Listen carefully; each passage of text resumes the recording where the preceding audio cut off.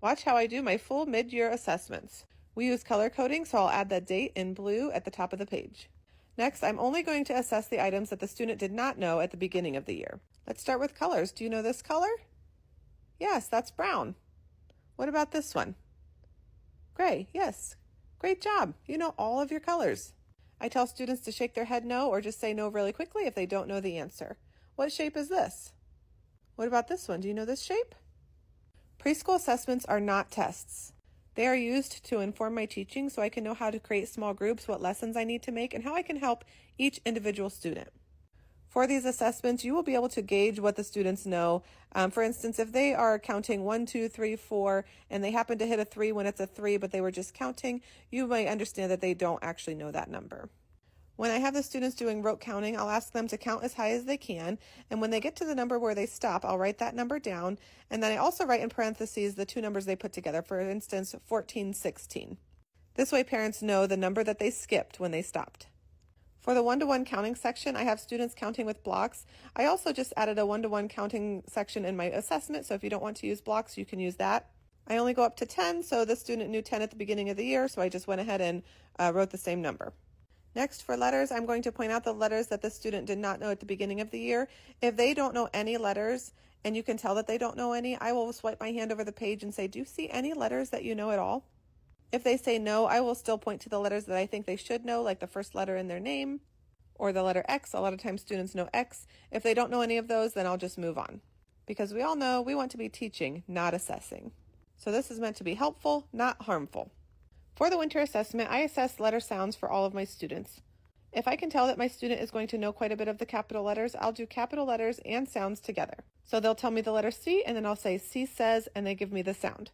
This makes the assessment go much quicker, and my students really do relate them because this is how we learn the letters. As we review, we sing a song. C says k, C says k. Every letter makes a sound. C says k. So I actually had many students that knew more sounds than they did letters this time around.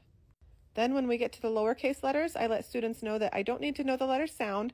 I just want to know if you know what the letter is.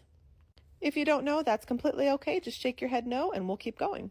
Sometimes I'll have that student that just likes to shake their head no because they don't want to do it, so I will then slow down and make sure that they're giving me the correct answers.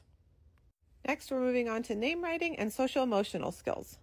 Name writing is something that we really focus on in preschool, so we often see really big results from the beginning of the year to the middle of the year. I pulled this name example out because I was particularly proud of this student. She doesn't have her letters in order, but she does have all of the letters in her name. To help guide students where they go, I use a folded piece of paper and cover over the top, and then I'll point to the blue spot and show them where they need to write their name. I have my students practicing capital followed by lowercase just because I found that if you have them write in all capitals, it's a really hard habit to break. So their capital letter goes in the gray box and all of their other letters go on the lines. I will circle no because the student has not mastered her name yet, but I'll write um, all of the letters that she wrote down and it shows that she is very close. We do have some letter reversals, but that's pretty typical in preschool. We use name tags in our classroom, so I do know if my students can recognize their name, so I can circle that really quickly. And lastly, I'll ask my student if they can spell their name. As they're writing their name, I will be checking their pencil grip and writing that down as well. At this point, my student is done, and I will let them go and continue to play. And I will finish the assessment by considering and thinking about their social skills um, from the beginning of the year until now. This is when I see the most growth in social emotional skills. A lot of times, this is the first experience outside of the house where students are really learning these skills and being able to practice them with their peers. So, the first three to four months in our preschool setting, we see a considerable amount of growth. The first week of school, I always come home crying. This week of school, I'm coming home cheering because they are doing so fantastic. Being kind, cleaning up, following the rules, listening and learning, it is wonderful.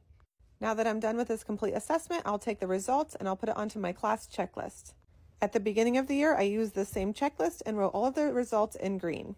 Then I chose two to three areas for each student's personal goals, and I highlighted that in yellow. Now I will take all of these winter results and put them on the same checklist in blue. Now I can very quickly scan the entire page and see if my students met their goals.